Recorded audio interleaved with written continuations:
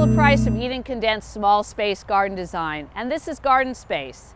Today I'm going to talk to you about how to prevent powdery mildew on cucumbers.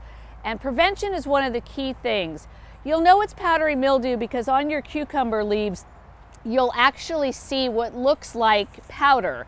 And what it is, it's a fungus that attacks uh, plants like cucumbers, melons, squash, and this happens when the leaves get too wet and too moist and there's too much moisture uh, throughout the day. That will actually encourage the fungus to grow.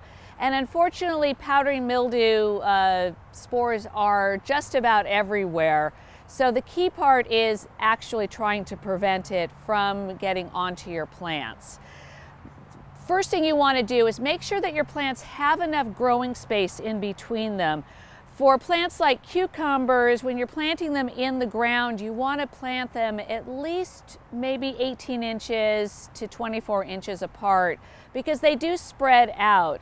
For squash and like zucchini or yellow squash, again, the plant will start to grow and if they're crowded, that will trap moisture in between the leaves.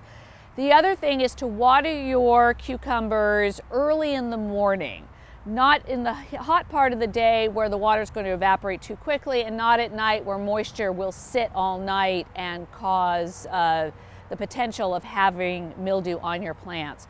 So water early in the morning, which gives the plant the greatest chance of getting enough water, especially cucumbers like a lot of water, and it will also dry off, the sun will then dry off any water that happens to be on the leaves. So those are the two main ways of preventing it. Should you get powdery mildew, then you can make a natural solution that includes baking soda, and per every gallon of water, you can use one tablespoon of baking soda, about a teaspoon of regular uh, dish soap to a gallon of water, and you can either um, put it into a spray bottle, a watering can, or into a hose sprayer and spray the leaves. Again, early in the morning, that will kill the powdery mildew and also give it time for the leaves to dry off.